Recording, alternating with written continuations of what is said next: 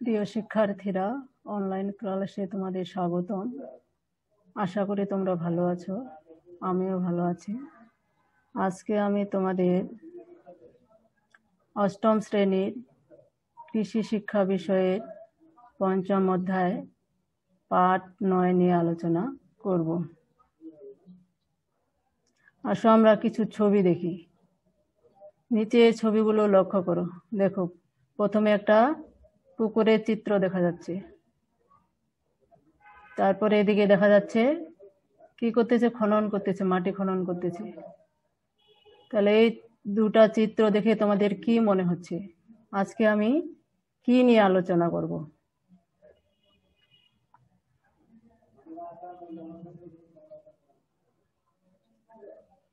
কি ছবিগুলা দেখে কি মনে হচ্ছে?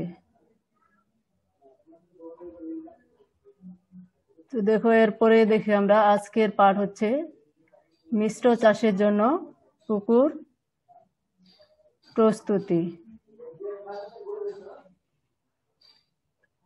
তাহলে আজকের পাঠ মিশ্র চাষের জন্য পুকুর প্রস্তুতি।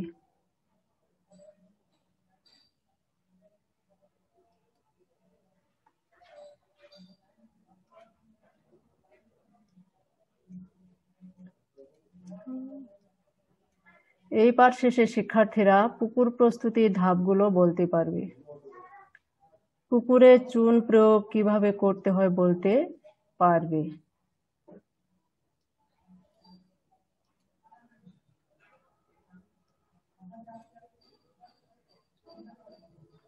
তাহলে পুকুর প্রস্তুতির ধাপগুলো বলতে পারবে, পুকুরে চুন প্রয়োগ কীভাবে করতে হয় বলতে পারবে।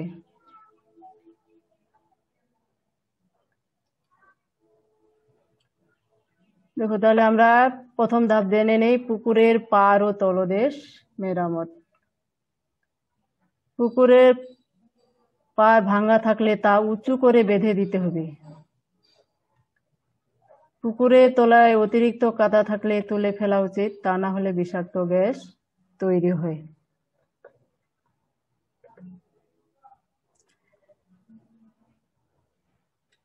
পুকুরের পার ও তলদেশ তিন চার বছর পর পর কি করতে হয়? শুকিয়ে পুকুরের তলায় অতিরিক্ত কাদা থাকলে সেটা তুলে ফেলতে হয়। তারপর তা কি করতে হয়? রোদে শুকাতে হয়। এতে করে যে বিষাক্ত পদার্থ এবং ক্ষতিকর পোকামাকড় আছে, সেগুলো কি হয়? নষ্ট হয়ে যায়। তাহলে প্রথম ধাপ হচ্ছে পুকুরের পার ও তলদেশ মেরামত। পুকুরের পার ভাঙা ভাঙা থাকলে তা উঁচু করে বেঁধে দিতে হবে। পুকুরের পাড়ে যদি বড় গাছ থাকে, তা কি করতে হবে? ডাল ছাঁটাই করতে হবে। তা না হলে কি হবে? পুকুরে সূর্যের আলো পড়বে না। এতে পুকুরের কি হবে না? প্রাকৃতিক খাদ্য তৈরি, মাছের প্রাকৃতিক খাদ্য তৈরি হবে না।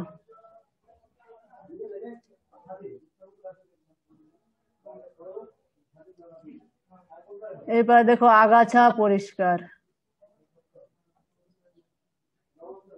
পুকুরে জলজ আগাছা যেমন কচুরি পানা, খুদি পানা, টোপা পানা ইত্যাদি পানিতে মাছের খাদ্য প্লাংটনের পুষ্টি শোষণ করে। নেয় ও পুকুরে সূর্যের আলো পড়তে বাধা দেয়। পুকুরে যদি সূর্যের আলো না পড়ে তাহলে কি হবে না? খাদ্য তৈরি হবে না। প্রাকৃতিক মাছের যে প্রাকৃতিক খাদ্য সেটা তৈরি হবে না। এই জন্য কি করতে হবে? পুকুরে যদি জলজ আগাছা হয় সেগুলো পরিষ্কার করতে হবে।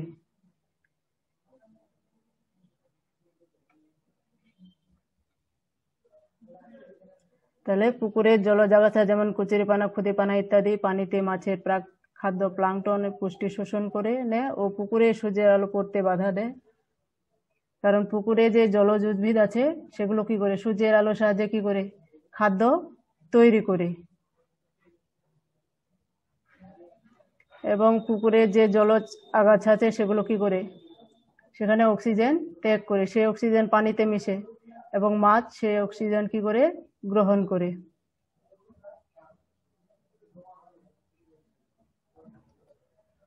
এবারে দেখো, রাক্ষুসে ও অপ্রয়োজনীয় মাছ অপসারণ। শোল, গজা, চিতল, বোয়াল, দেখো ছবিগুলো। কয়েকটা রাক্ষুসে মাছের চিত্র দেওয়া আছে। শোল, গজা, চিতল, বোয়াল ইত্যাদি চাষের মাছ বা পোনা খেয়ে ফেলে। এইসব মাছ কি করে? চাষের যে পোনা আছে সেগুলোকে খেয়ে ফেলে। পুকুরে এক ফুট বা তিরিশ সেন্টিমিটার গভীরতার জন্য তিরিশ থেকে পঁয়ত্রিশ গ্রাম মাছ মারার বিষ, রোটেনন পাউডার পানিতে গুলে সমস্ত পুকুরে ছিটিয়ে দিতে হবে। তাহলে এভাবেও কি করা হয়? আর রাক্ষুসে মাছ, রোটেনন বিষ প্রয়োগ করে রাক্ষুসে মাছ কি করা হয়? নিধন করা যায়।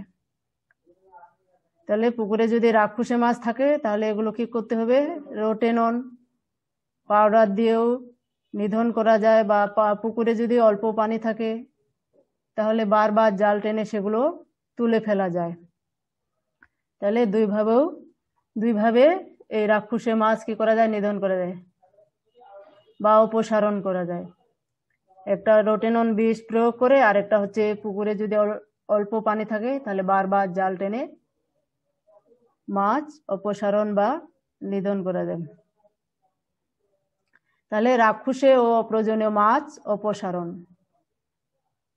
আমরা দুই উপায়ে এই রাক্ষুসে বা রাক্ষুসে ও অপ্রয়োজনীয় মাছ অপসারণ করতে পারি। তাহলে আমরা কয়েকটা ধাপের নাম জানলাম পুকুর প্রস্তুতির। এবারে দেখো চুন প্রয়োগ।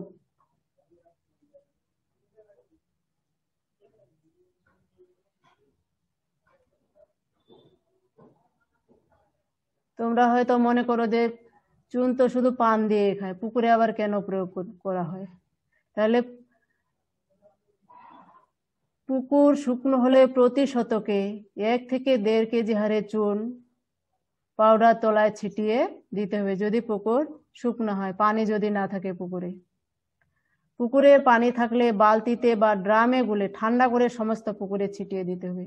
যদি পুকুরে পানি থাকে সেটা কি করতে হবে? বালতি বা ড্রামে গুলিয়ে সমস্ত পুকুরে সেটা ছিটিয়ে দিতে হবে।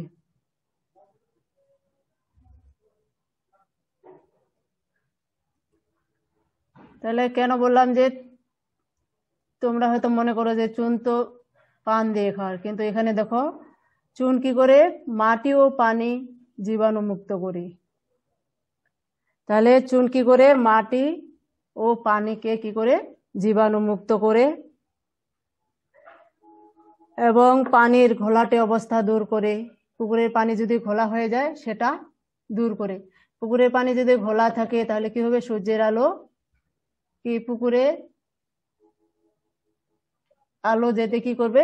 বাধা সৃষ্টি করবে। এতে যে পুকুরে যে জলজ আগাছা আছে, সেগুলো খাদ্য তৈরি করতে পারবে না। তাহলে চুনের কাজ হচ্ছে চুন মাটি ও পানিকে জীবাণুমুক্ত করে পানির ঘোলাত্ম দূর করে এবং তলদেশে যে বিষাক্ত গ্যাস আছে সেটা, পুকুরের তলায় যে বিষাক্ত গ্যাস আছে সেটাকে কি করে? দূর করে। তাহলে চুন প্রয়োগ কেন করা হয় সেটা আমরা জানলাম।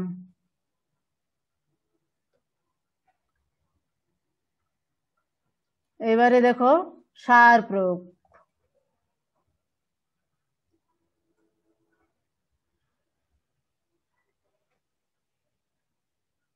যেমন আমরা মাঠে ফসল চাষ করি। চাষ করার জন্য কি করতে হয়?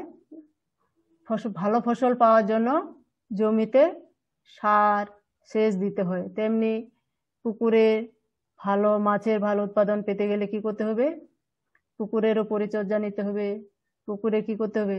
সার দিতে হবে। সার দেওয়ার কারণে কি হবে? পুকুরে মাছের প্রাকৃতিক খাদ্য তৈরি হবে। তো জৈব সারের জন্য পুকুরে প্রতি শতকে পাঁচ থেকে সাত কেজি গোবর বা তিন থেকে চার কেজি হাঁস মুরগির বিষ্ঠা দিতে হবে। তাহলে জৈব সারের জন্য পুকুরে প্রতি শতকে পাঁচ থেকে ছয় কেজি গোবর বা তিন থেকে চার কেজি হাঁস মুরগির বিষ্ঠা অজৈব সারের মধ্যে প্রতি শতকে একশো থেকে একশো পঞ্চাশ গ্রাম ইউরিয়া পঞ্চাশ গ্রাম টিএসপি বিশ থেকে তিরিশ গ্রাম এমপি সার কি করতে হবে? প্রয়োগ করতে হবে। তাহলে মাছের ভালো ফলন পেতে হলে কি করতে হবে? বা উৎপাদন ভালো পেতে গেলে কি করতে হবে? পুকুরে সার দিতে হবে। সার দেওয়ার ফলে কি হবে? পুকুরে মাছের প্রাকৃতিক খাদ্য তৈরি হবে।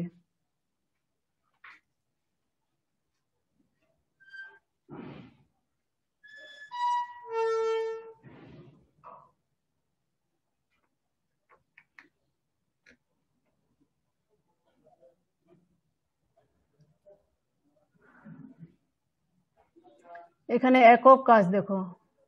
বিশ শতকের পুকুরে কত কেজি চুন দিতে হবে বা প্রয়োগ করতে হবে? বিশ শতকের পুকুরে কত কেজি চুন দিতে হবে বা প্রয়োগ করতে হবে?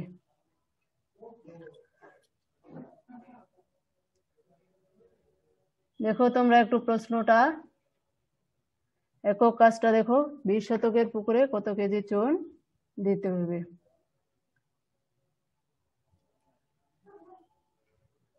এবার পানিতে প্রাকৃতিক খাদ্য পরীক্ষা। আমরা যে পুকুরে সার দিলাম,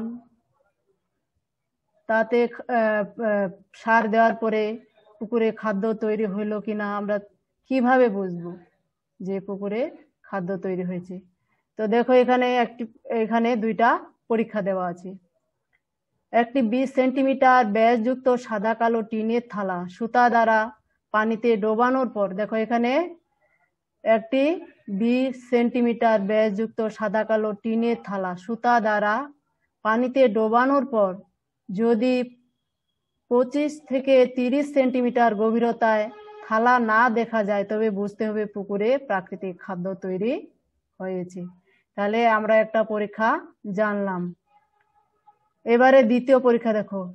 হাতের কোনোই পর্যন্ত ডুবিয়ে যদি হাতের তালু না দেখা যায়, দেখো এখানে যে কোনোই পর্যন্ত ডুবানো হয়েছে চিত্রে দেখো, তাহলে হাতের কোনোই পর্যন্ত ডুবিয়ে যদি হাতের তালু না দেখা যায়, এই হাতের তালুটা যদি না দেখা যায়, তবে বুঝতে হবে পরিমিত প্রাকৃতিক খাদ্য রয়েছে। তাহলে আমরা এখানে দুইটা পরীক্ষা জানলাম যে প্রাকৃত পানিতে প্রাকৃতিক খাদ্য পরীক্ষা, পানিতে প্রাকৃতিক খাদ্য আছে কিনা, এই দুইটা পরীক্ষা করলেই আমরা বুঝতে পারব। তাহলে প্রথম পরীক্ষা হচ্ছে একটি বিশ সেন্টিমিটার ব্যাসযুক্ত সাদা কালো টিনের থালা। সুতা দ্বারা পানিতে ডোবানোর পর যদি পঁচিশ থেকে বিশ পঁচিশ থেকে, সরি পঁচিশ থেকে তিরিশ সেন্টিমিটার গভীরতায় থালা না দেখা যায়, তবে বুঝতে হবে পুকুরে প্রাকৃতিক খাদ্য তৈরি হয়েছে। দেখো এখানে দেখা যাচ্ছে এটাকে আমরা সেকি ডিস্ক পরীক্ষাও বলতে পারি। তারপরে হাত পরীক্ষা দেখো। হাতের কোনোই পর্যন্ত ডুবিয়ে যদি হাতের তালু না দেখা যায়, তবে বুঝতে হবে পরিমিত প্রাকৃতিক খাদ্য রয়েছে।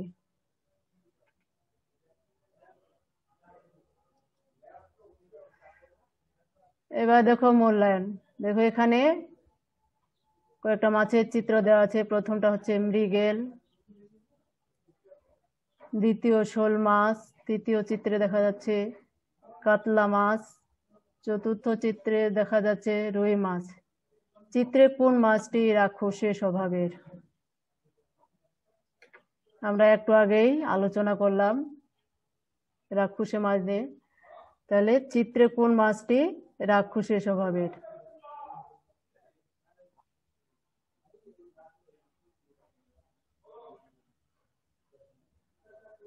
তো আমরা একটু আবার আলোচনা করি প্রথম থেকে।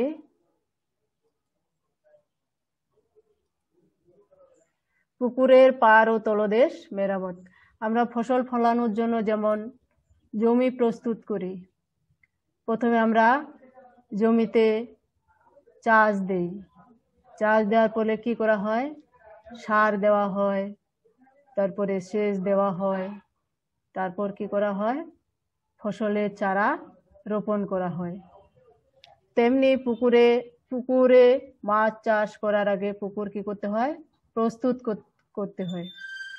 প্রস্তুত না করলে আমরা ভালো উৎপাদন পাবো না, মাছের উৎপাদন ভালো হবে না। তো তাহলে প্রথম কাজ হচ্ছে পুকুরের পার ও তলদেশ মেরামত করতে হবে। পার যদি ভাঙ্গা থাকে, তাহলে কি করবে? পুকুর থেকে মাছ কি করবে? অন্যত্র চলে যাবে বা পালায় যাবে। তাহলে পুকুরের পার ও তলদেশ মেরামত। তারপরে আগাছা পরিষ্কার। পুকুরে যদি আগাছা থাকে, তাহলে কি হবে? পুকুরে যে জলজ জলজ উদ্ভিদ আছে, সেগুলো কি হবে? খাদ্য তৈরি করতে পারবে না। যদি খাদ্য তৈরি করতে না পারে, তাহলে কি হবে? মাছ অক্সিজেনের অভাবে মারা যাবে। এজন্য পুকুরে জলজ আগাছা কি করতে হবে? পরিষ্কার করতে হবে। রাক্ষসে অপ্রয়োজনীয় মাছ অপসারণ। যদি পুকুরে রাক্ষসের স্বভাবের মাছ থাকে, সেগুলোকে অপসারণ করতে হবে। তা না হলে কি করবে? চাষযোগ্য মাছের পোনা, যেগুলো চাষের চাষের মাছ বা পোনা, সেগুলোকে কি করবে? খেয়ে ফেলবে।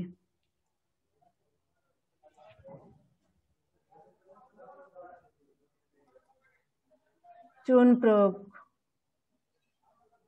চুন কি করে? চুন মাটি ও পানি জীবাণুমুক্ত করে।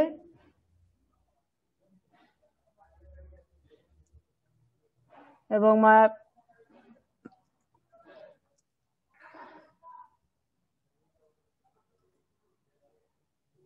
সার প্রয়োগ। এই সার প্রয়োগের ফলে কি হয়? পুকুরে প্রাকৃতিক খাদ্য তৈরি হয়। ঠিক আছে, এবার বাড়ির কাজ দেখো। শিক্ষার্থীরা পার্শ্ববর্তী কোনো পুকুরে পারে গিয়ে পুকুরের পানিতে প্রাকৃতিক খাদ্যের উপস্থিতি পরীক্ষা করবে।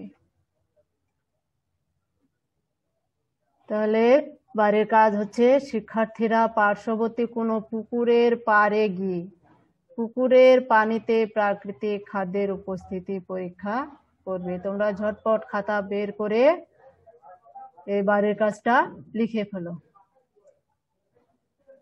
ধন্যবাদ সবাইকে। সবাই সুস্থ থাকবে ভালো থাকবে।